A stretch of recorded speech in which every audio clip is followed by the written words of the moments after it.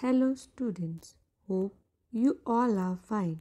In the last class, we have done how to open a savings bank account, how to operate it and its advantages. Today, we are going to study about check in detail. It is an important service provided by the bank. The payments made through the check are very easy and convenient whether they are large or small, as it avoids the risk of carrying cash from one place to another. It is also documentary evidence for the payment made. It can be defined as a signed document by which money is transferred from the account of one person to the account of another person. It's an instrument in writing containing an unconditional order signed by the maker directing a banker to pay on demand a certain sum of money only to a certain person.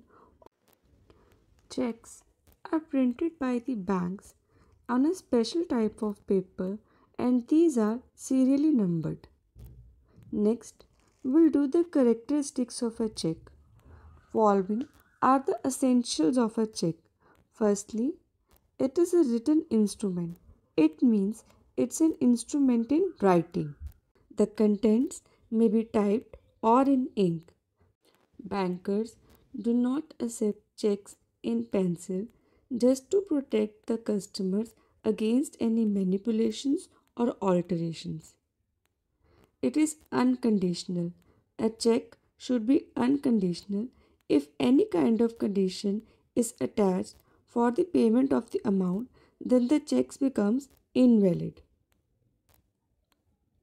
Order A check is an order to the drawee, that is, the bank to pay the specified amount. Next one is signature of the drawer. A check must be signed by the drawer in the manner in which the drawer has signed as a specimen signature in bank's record. Next one is particular bank. The bank or banker on whom the check is drawn must be specified.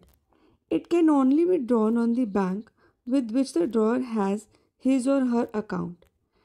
If it is drawn on a person who is not a banker, then it cannot be called a check. Next one is certain amount.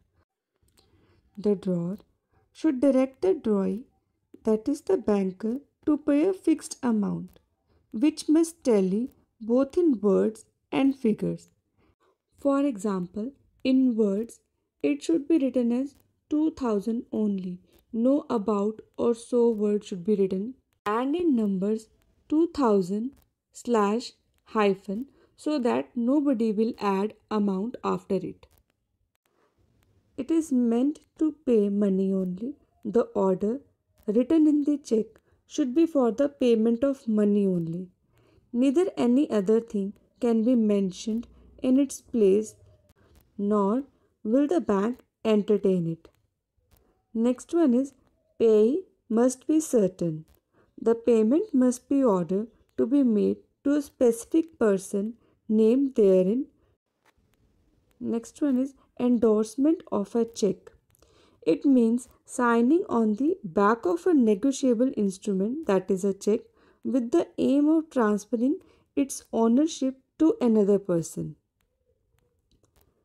And the last one is crossing of a check. It is a process of drawing two parallel lines on a check with or without certain words. The purpose is to protect the drawer against loss by theft or forgery. Crossing of a check also ensures that payment is made to the authorized person only by transferring the amount directly into his or her account. So, these are the characteristics of a check. Now, we are going to study about essentials of writing a check. How to write a check. The check has to be written in ink clearly without any corrections, alterations, and overwriting. The date of issue should be mentioned on the check as if the check is not deposited within three months of its issue, then it becomes invalid and gets dishonored.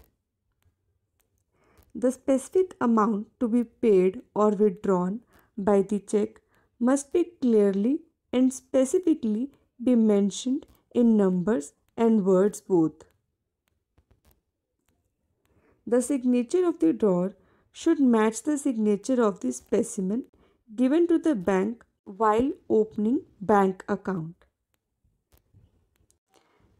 Payee name should be mentioned on the check to whom you intend to make the payment. A check should be preferably be crossed by drawing two parallel lines on the left hand side of the top corner as it protects the drawer against any loss, theft or forgery and ensures that the amount will go directly in the payee's account. Check should be signed on both sides if the payee want to withdraw money in cash or he pays a bearer check. You can see in this check two lines and account pay written over there on the left hand side.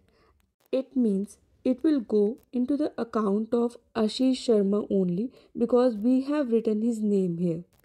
Amount is written both in words and in numbers and on the right hand side date is clearly mentioned. Then account holder signature here above the line. So these are some essentials of writing a check. Next we'll do the advantages and disadvantages of payment by check. The check provides an easy and inexpensive means of transferring money. It may be drawn for any sum within the limit of the drawer's balance in the bank account. Payment by check eliminates the need for counting and checking the banknotes. Except when paid into the account of pay, a check drawn payable to a order must be bearer and if it is crossed must be paid into the bank account. These requirements provide the check with a high degree of safety as a means of payment. The check, except the bearer check, acts like a receipt. It is a proof once it has been cleared that the money has been received. But it has some disadvantages too. Checks are not legal tender and a creditor may refuse to take a check in lieu of the cash amount. Unless a check is carefully drawn, it may be altered by a dishonest person. The dimensions of the check are same whether you are making big payment or small payment. And it can be just easily misplaced or lost without the loss being noticed immediately. Such a risk makes it necessary to handle the checks with great care, especially bearer checks. Payments by check may be inconvenient for those who don't have any bank account. So these are some advantages and disadvantages of making payment through check. Next is ATM card. An ATM card can be used in any ATM machine across the country at any time of the day. The card can be used to withdraw money, check account balance, and sometimes be deposit money through ATM cards. The card is to be inserted in the slot provided in the machine then the machine will ask you for your 4 digit PIN number. After this, it will ask you for what kind of transaction you want to make and it will guide you through few steps. And finally, ask you whether you need a receipt or not for the transaction. And then the transaction gets completed. ATM cards can be used for online shopping, book travel, and entertainment tickets for paying bills, etc. While doing all these payments, you have to enter your 16 digit card number, name of the card holder, and 3 digit CVV mentioned on the back of the card. After entering these three things, the system will send you an SMS on your registered mobile number and then you will have an OTP. OTP means one time password which you will have to enter for these online transactions. Then the system proceeds toward the payment and the transaction succeeds.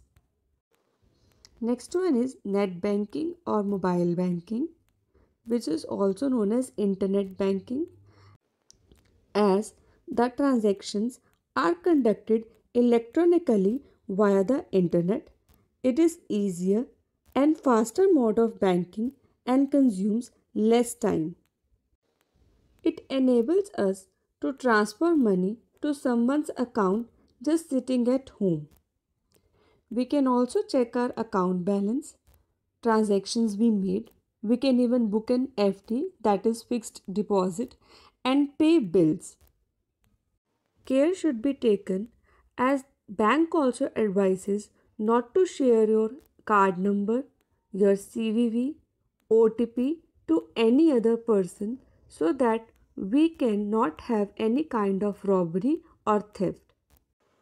So, these are the advantages of internet banking.